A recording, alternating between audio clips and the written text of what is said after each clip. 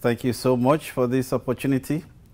I'd just like to thank uh, Professor Dr. Kashan and the rest of his team in GATR for this wonderful conference, 13th GCBSS. Wonderful conference. Uh, I must say I'm very pleased to be uh, a session chair in, this, in a session that just ended. And uh, we had such a wonderful, robust of exchange of ideas and contribution to new knowledge. I'd like to express my wonderful appreciation to uh, GATR entire team. Uh, and the special nature of this conference is such that we have uh, other sidebars like uh, opportunity to know and learn how to publish in high impact journal. This is wonderful. Uh, thank you so much. I look forward to your new conferences in the future. Thank you so much. Appreciate it.